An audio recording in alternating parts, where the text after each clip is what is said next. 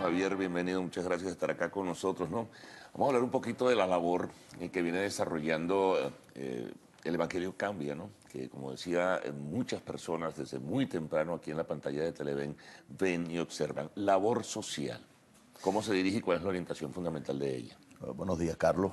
Bueno, eh, el Evangelio Cambia está conformado por más de 130 mil voluntarios a nivel nacional, personas que salen todos los sábados organizadamente en todo el país a atender comunidades necesitadas, de bajos recursos, ¿no?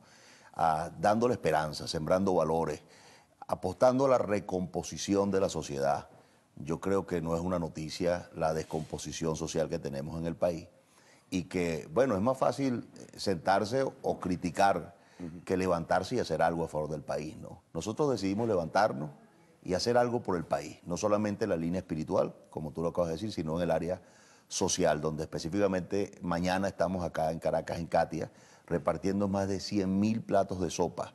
Esto es un, bueno, un récord a nivel mundial y aparte de eso es el resultado de la organización, como te digo, de más de 130 mil voluntarios a nivel nacional, que con su aporte, una yuca, un ñame. Eso te iba a preguntar, la, logística, Javier, para, organizar una jornada, como tú acabas de decir, que puede ser incluso histórica, ¿no? Y que puede tener un, puede ser hasta de récord, eso, el, distribuir 100 mil platos de sopa. Bueno, fíjate que ya lo hicimos en Petare, hace algunas semanas atrás.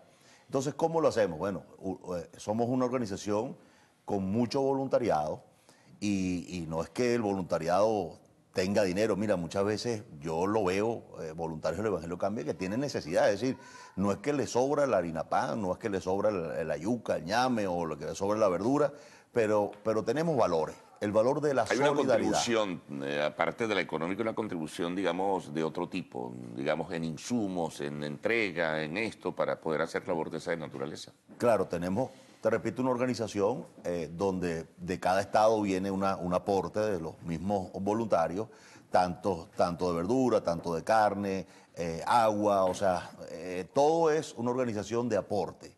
Como te repito, la solidaridad es uno de los valores cristianos que hay que poner en práctica, ¿no? No es solamente darnos golpes en el pecho o, o ser cristianos nominales. Creo que la situación de nuestro país nos demanda ser prácticos en la fe. Es decir, hacer que las soluciones aparezcan. No estamos aquí para criticar, aunque movemos muchísima gente, eh, eh, nuestro voluntariado y nuestras convocatorias son enormes. Sí, pero hay una realidad, ¿no? Como suele decirse, una realidad tangible.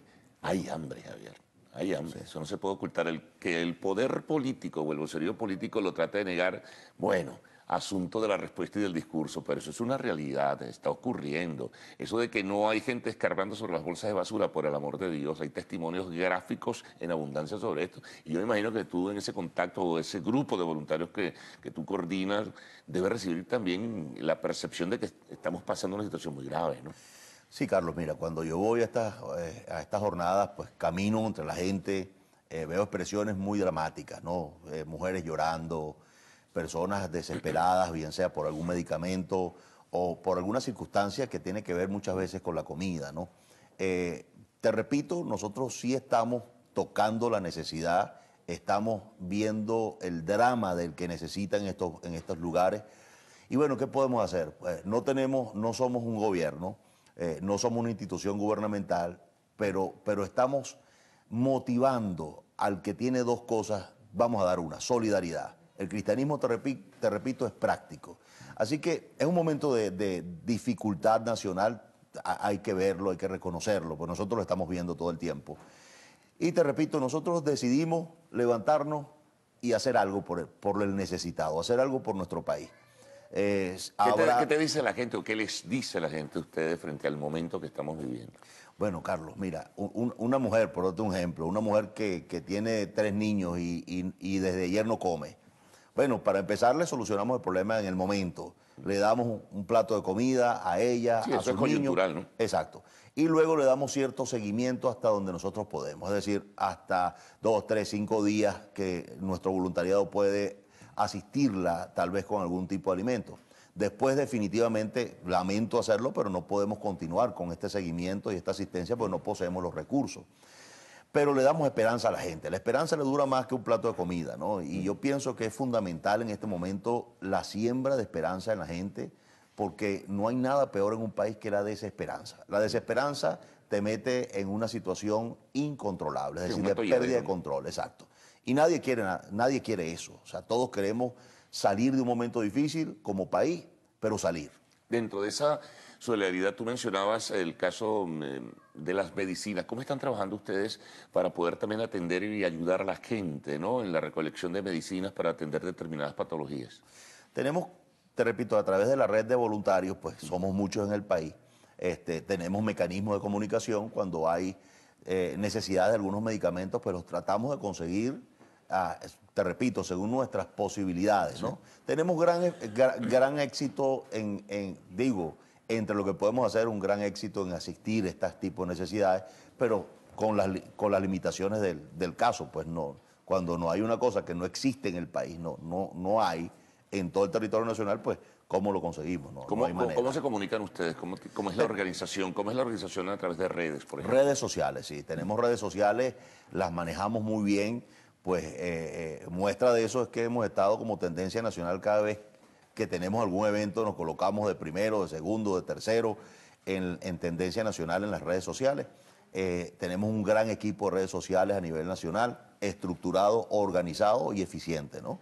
Eso nos permite comunicación, nos permite también llegar a mucha gente.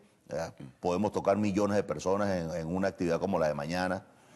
Eh, y hemos aprendido a usar las redes con, como te digo, con mucha eficiencia. ¿En qué parte de Katia, perdona, van a estar ustedes mañana? en la avenida Propatria, creo que, en Propatria. Eh, es una avenida completa que vamos a cerrar. Eh, bueno, en, Petare atendimos más de 150 mil personas en un día, no solamente con sopa, sino que atendimos 1.600 indigentes que a través de algunos, de algunos entes gubernamentales, como 400 los ubicamos en algunos sitios, eh, aparte de eso, movilizamos más de 40 odontólogos con los insumos que los conseguimos. ¿Mañana va a haber eso también? Sí, mañana va a haber todo esto, otra vez, sí. Eh, claro. es una jornada que va mucho más allá de dar comida o dar un plato de sopa. Por supuesto, claro. Eh, atendemos la parte médica odontológica, te repito, pues hasta donde nos podemos, pero sí atendemos un montón de gente en la parte de indigentes también, en medicina general, con con los medicamentos que conseguimos, que siempre son una cantidad importante, aparte de la esperanza.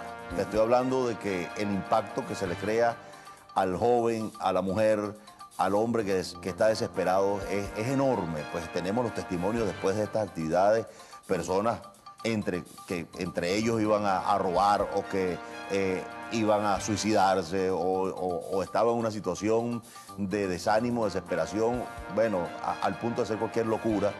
Y bueno, esa influencia está o logra tal vez cambiar la actitud o la forma de pensar autodestructiva de alguna gente. ¿no?